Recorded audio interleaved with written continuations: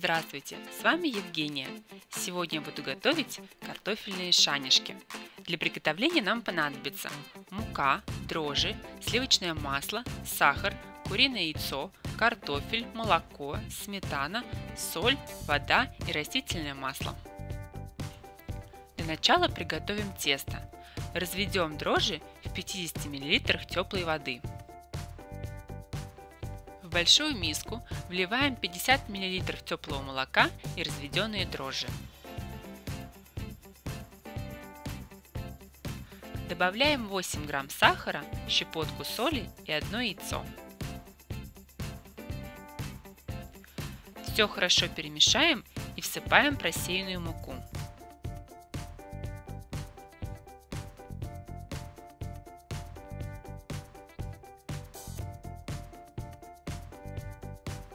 Замешиваем тесто и добавляем столовую ложку растительного масла.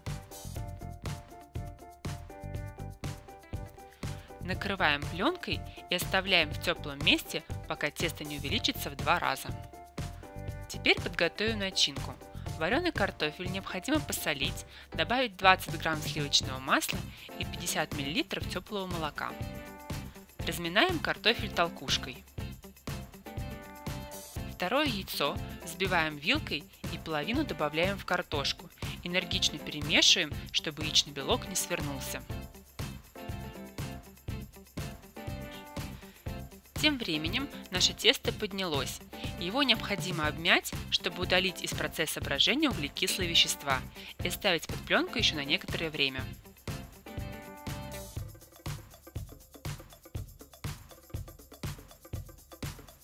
Итак, тесто поднялось, увеличилось в два раза, теперь мы можем готовить наши шанишки. С тестом лучше работать на деревянной поверхности, присыпанной мукой. Раскатаем из теста длинный жгут и разделим на порционные шарики.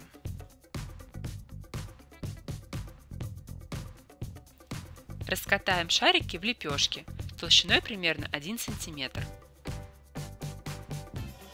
Теперь выкладываем тесто на противень и оставляем для расстойки на 20 минут.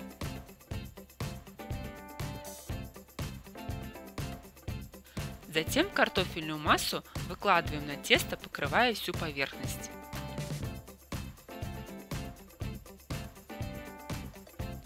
Пятнадцать грамм сметаны взбиваем с оставшейся половиной яйца и смазываем этой болтушкой поверхность картошки.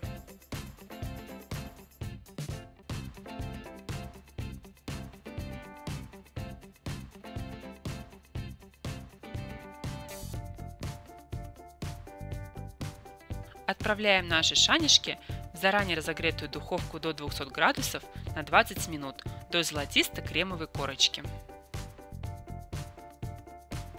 Готовые горячие шанишки необходимо смазать сливочным маслом. Итак, у меня получились потрясающе вкусные и ароматные шанишки прямо из детства. Приятного аппетита! Попробуйте приготовить сами, у вас обязательно получится.